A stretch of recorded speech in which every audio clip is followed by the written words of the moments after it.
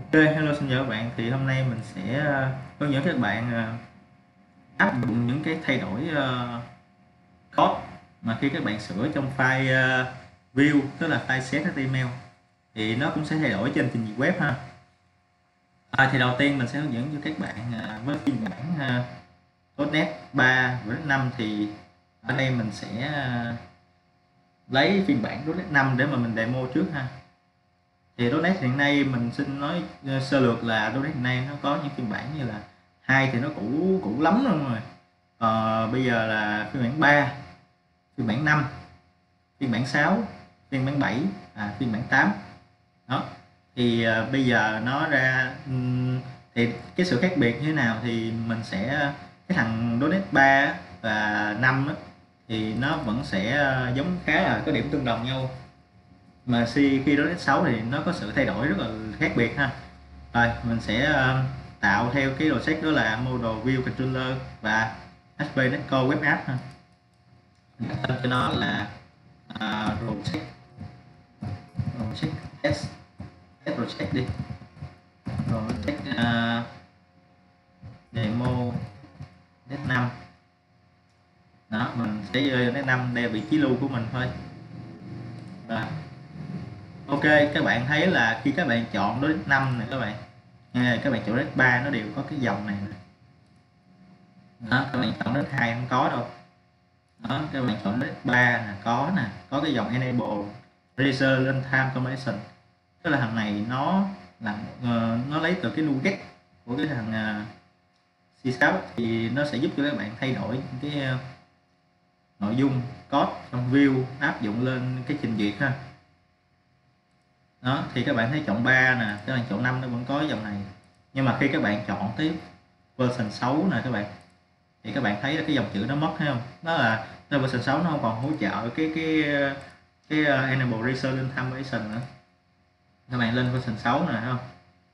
Thì nó không còn nữa. Thì các bạn uh, chọn version 5 đi mình demo version 5 nè mình không có cần fix https ha. Rồi mình phải chọn cái cái này. Đó mình chọn cái enable để nó kích hoạt lên đó. Thì à, mình bấm tạo project nè.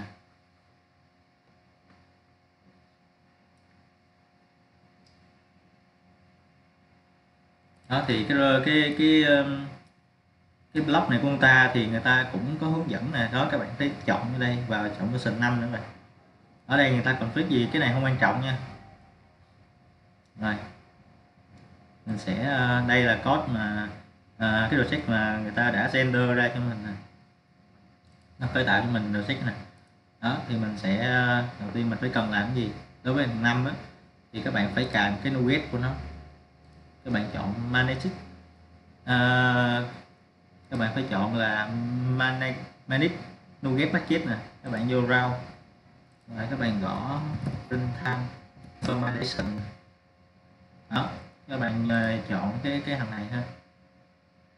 À tại do hồi nãy ở ngoài á, các bạn, mình đã vô cái nút đó, cho nên là ở đây nó nó sẽ tạo cho các bạn cái cái cái nugget này sẵn luôn nha. Còn nếu các bạn ở ngoài, các bạn không thích vô lúc đó thì vô đây các bạn phải cài lại. Đó, thì đây người ta cài cho mình sẵn và người ta áp dụng sẵn cái phiên bản 5.0.7 cho mình luôn nè. Đó. Thì các bạn thấy là đây phiên bản mới nhất của nó, nhưng mà thằng này á, chỉ áp dụng cho cái version của net 7 nguyên cái solution net 7 luôn rồi sẽ cái net 7 luôn nha các bạn đó, thì đây nó chọn phiên bản cao nhất của mình là 5.0.17 này thấy không? Đó người ta cài sẵn cho mình hết rồi các bạn. Đó, thì các bạn nhớ tên project nha, Microsoft .sbcore.abc.razer .runtime compilation này. đó, thì khi mà các bạn cài xong này, các bạn phải vô trong cái cái view. Ồ lộn, các bạn phải vô trong file shop rồi, các bạn sẽ vô đây, các bạn thấy chỗ cái hàm config uh, uh, config à, uh, service không? Đó các bạn sẽ thêm một cái đoạn uh, một cái uh, option nữa. Đó các bạn sẽ thêm một cái add uh, laser runtime compilation. Đấy. đó. Thì trong cái cái uh, bài viết này người ta cũng cũng có hướng dẫn các bạn đó. Nhạc thêm cái này nè. Tại vì mình đang dùng MPC đó cho nên là mình sẽ thêm cái dịch vụ như thế này. Đó. đó, người ta chỉ mình cài cài như thế nào nữa các bạn đó đúng không? Đó là mình uh, sử dụng thì mình thêm cái này vô. Đó. Mình rồi. Mình sẽ chạy lên ha. Sau khi mình thêm cái cái hàng này trong cái bài slot nè. Add razor runtime compilation nè compilation nè. Mình chạy set lên mình sẽ chọn control nếp nào năm tổ hợp phím để mình chạy set lên ha. Thì các bạn đã thấy là chạy xét lên thì nó chưa có gì, đúng không? Ok, mình sẽ qua cái view của nó nè. Thì tại sao nó có những dòng code này thì các bạn học C Sharp rồi chứ bạn cũng biết về cái bút boot của nó. Thì khi nó chạy lên, nó sẽ vô trong cái home nè, mặc định nó sẽ vô trong cái controller home và action index nha các bạn. Đó, view, mỗi view tương ứng với lại tên.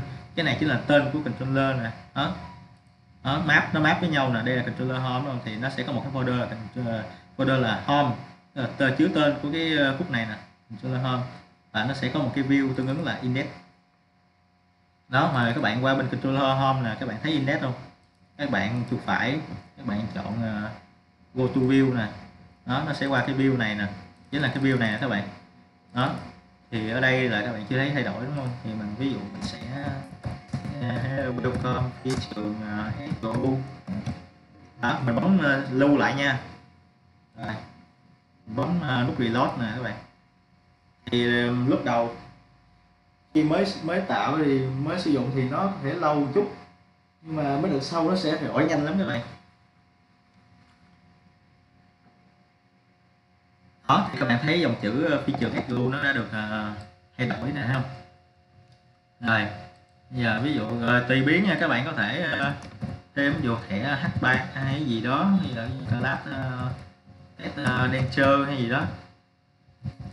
Đó.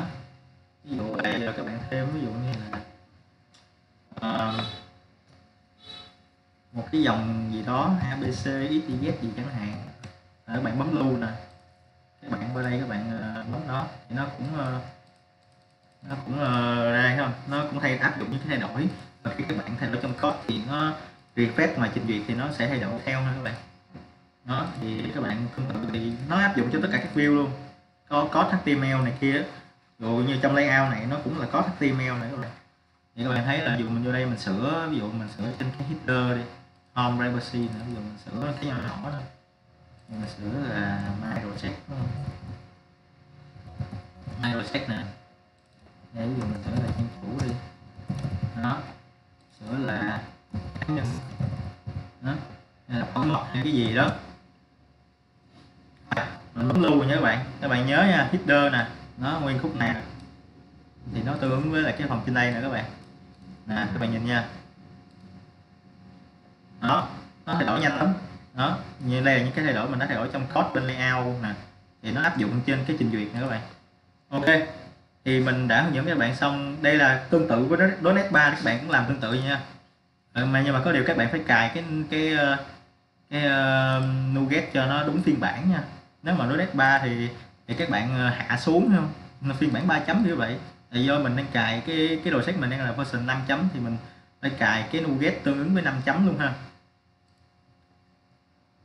Ok thì mình sẽ tắt cái này đi. Mình sẽ demo cho các bạn cái cái, cái phần khác. À, tiếp theo nó cũng là nội dung này luôn nhưng mà nó sẽ là đồ xét với phiên bản đó là à, à, 6 chấm ha.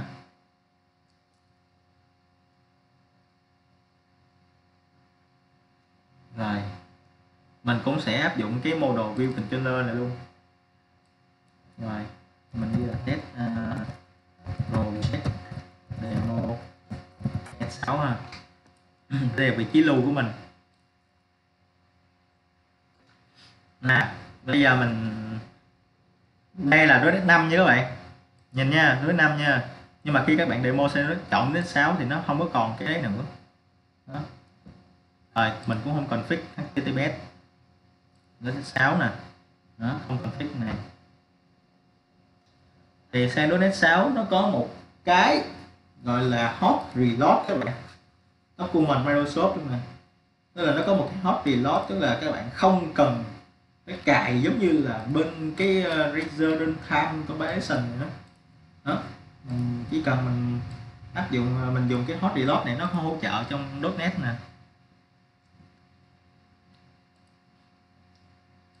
Đó. Hot reload là gì? Thì là mình mình chạy lên trước ha. Mình không có làm gì hết mình không có cấu hình gì hết à các bạn thấy là đó.